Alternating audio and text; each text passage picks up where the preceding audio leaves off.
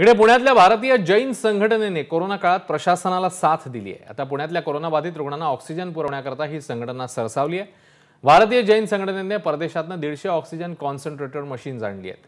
एका मशीनची किंमत पासष्ट ते सत्तर हजार रुपये आहे. पुण्यातल्या ज्या रुग्णालयात कोरोना रुग्ण उपचार घेत आहेत त्या रुग्णालयात हे मशीन पुरवण्यात येणार आहे. या मशीनसाठी सिलेंडरची गरज नाही. हे मशीन मोकळ्या हवेतनं ऑक्सिजन निर्माण करून रुग्णालया रुग्णांपर्यंत पोहोचवत असतं. जर आपण बघितलं तर हे खूप छोटंसं कॉम्पॅक्ट असं हे ऑक्सिजन कॉन्सन्ट्रेटर मशीन आहे. खरं तर हे ऑपरेट कसं होतं हे सांगण्यासाठी सुद्धा एक डॉक्टर आपल्यासोबत आहेत. मॅडम खूप छोटंसं मशीन आहे. ह्याला बाहेरून कुठलंही ऑक्सिजन लागत नाही. म्हणजे थोडक्यात तुम्ही आम्हाला सांगा ही कसे चालते? ॲक्च्युली ह्याचं एक सिंपल ऑपरेटिंग आहे आणि अ, ह्याच्यामध्ये फक्त एक ऑन ऑफ बटन आहे. जे तुम्ही ऑन कराल ऑन केल्यानंतर ह्याचा एक डिस्प्ले येतो. डिस्प्ले आल्यानंतर तुम्ही इथे अ, किती मिनिटसाठी तुम्हाला सेट करायचं आहे मॅक्झिमम मिनिमम अवर्समध्ये तुम्ही कन्वर्ट करू शकता.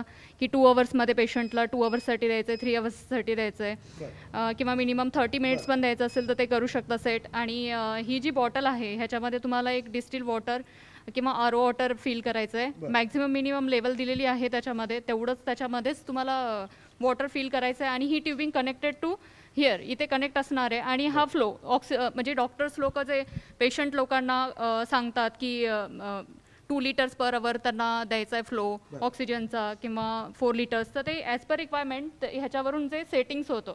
आणि इथे एक ट्युबिंग असते आणि ती कनेक्ट टू मास्कला होते. तर त्याच्याने पेशंटला ऑक्सिजन प्रोव्हाइड होतो आणि ह्याच्यामध्ये काही सिलेंडर वगैरे लावायची गरज नाही आहे ते ॲटमॉस्फिअरिक एअर जे असतं ते कन्वर्ट टू ओ टूमध्ये ऑक्सिजनमध्ये करतं. जर आपण बघितलं तर खूप सिंपल अशी साधी ही मशीन आहे.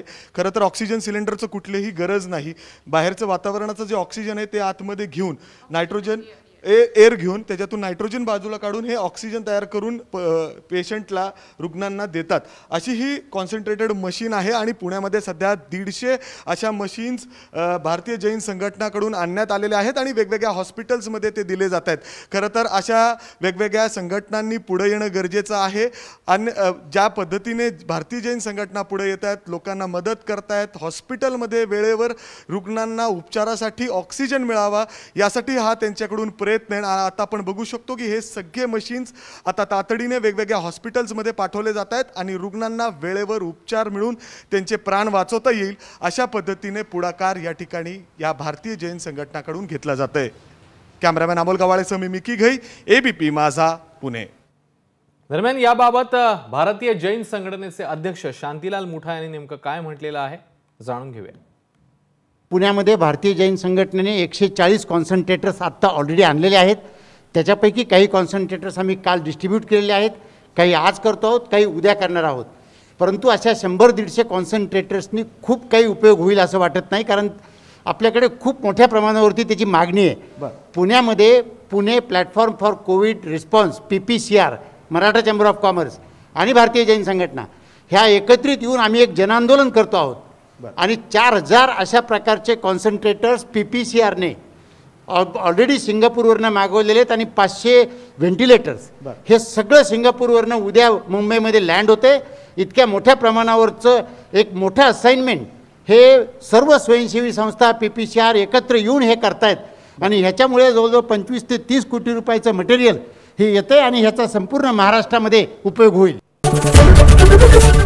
एबीपी माझा. उघडा डोळे बघा नीट.